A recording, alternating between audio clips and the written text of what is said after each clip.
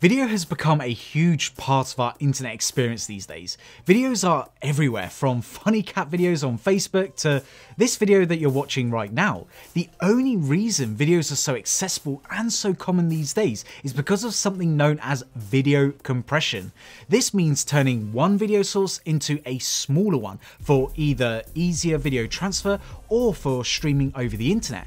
So let's take a look at the two most important video compression standards currently in use. These are H.264 and the newer H.265 standards.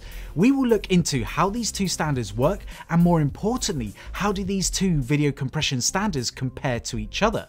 Whether you are someone who likes to upload nature walk videos onto the internet or likes to stream video games on Twitch, it's really interesting to understand how video compression works. Hello everyone, this is Mike from Sabrent here and if you enjoy tech videos and tech related videos then make sure to hit that subscribe button and hit that notification bell so you get updated for any future videos. Both H.264 and H.265 are known as codecs. A codec is a piece of software that can utilize hardware to code video files during their creation and also to decode the same type of video for playback. In fact, the word codec is a combination of the words code and decode. Video compression codecs can reduce the size of a video file by essentially following a series of program processes that allow a computer system that is doing the video encoding to squeeze the video data into smaller file sizes without a substantial or noticeable loss in quality in most cases. This is done by using a combination of things like prediction and complex algorithms.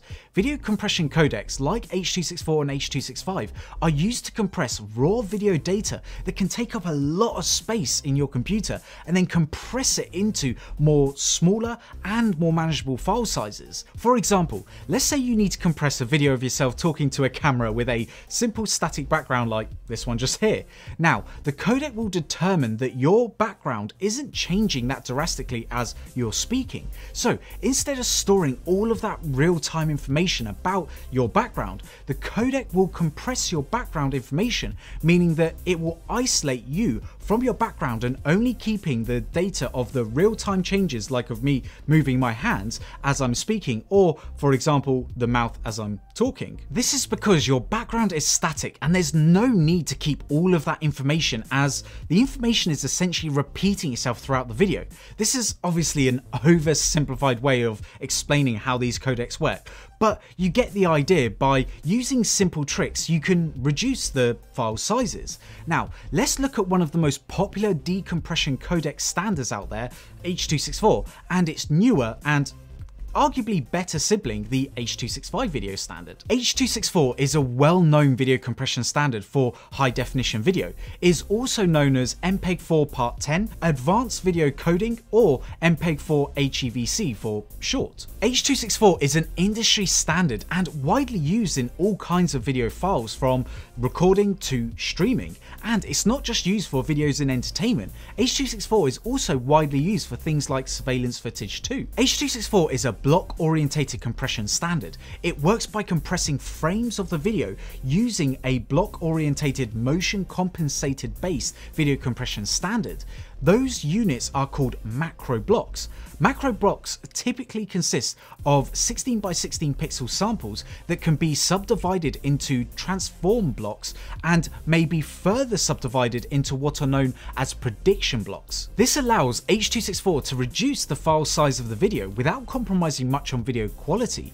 There are many video formats that use H.264 compression standards. Two of the most popular ones are .mov and .mp4 formats. Formats themselves are just digital file containers. Both of these formats use H.264 to compress the information in a video file. .mov is a proprietary file format that was made by Apple to work exclusively with their devices, and .mp4 is an international standard for video files, and a lot of streaming and video platforms recommend that you use this file format. While .mp4 is more commonly used, it is a more compressed compressed video file format, and thus, comparing it to file formats like .mov, MP4 does have a slight worsening in quality. H.265 on the other hand is the newer video compression standard, and since it is the newer one, it is also the better video compression standard. First published in 2013, H.265 has yet to become as widely used as H.264,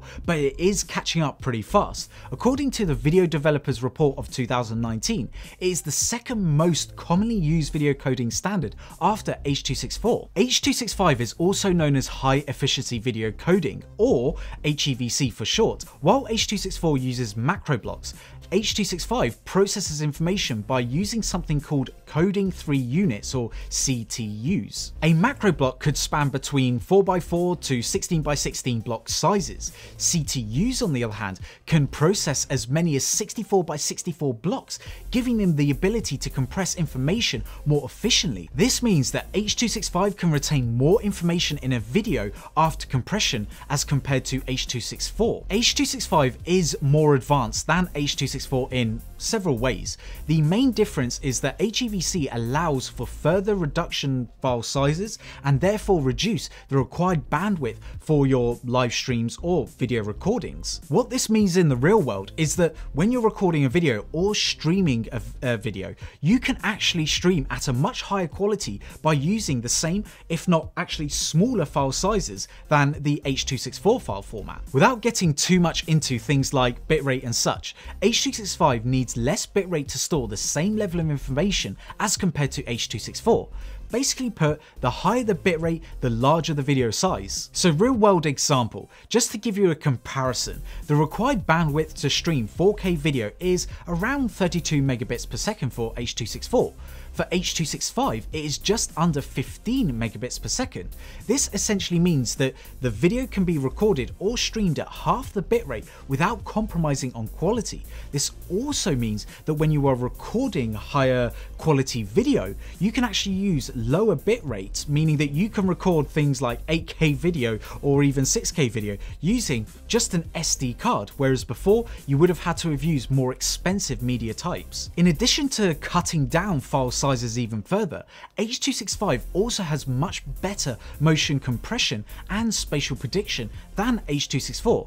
What this means is that you can have a lot of stuff going on in the video, like this, or more than that really, and you can still get away with running a lower bitrate. Previously recording at a lower bitrate meant that wherever there was a lot of motion in the video, the quality of the video would become worse. This was because in a video with a lot of movement and action going on, there is a lot more information that needs to be captured, but at a lower bitrate, there is only so much bandwidth to go around. This is why when you are watching a live stream of action sports, for example, and then suddenly there is a lot of action on stream, it looks like the video quality has got worse almost immediately.